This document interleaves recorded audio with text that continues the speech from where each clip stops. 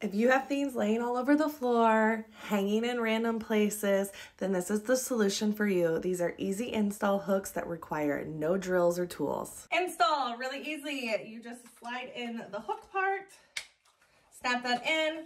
I've already got the plastic removed, so this part here is the sticky part. You're gonna use your palm and just push that down in the spot that you want it. And it is good to go. That is on go ahead. Okay, I'm gonna show you how easy this is to pop off um, and show you that there's no damage when you remove it and wanna move it somewhere else or just be done with it. Simply just get a card of some sort, just kind of shove that behind, undo the suction. You can see that's all still intact, sticky, and no damage to the wall that you installed it on. These have a really nice clean look to them with that extra touch of stainless around it.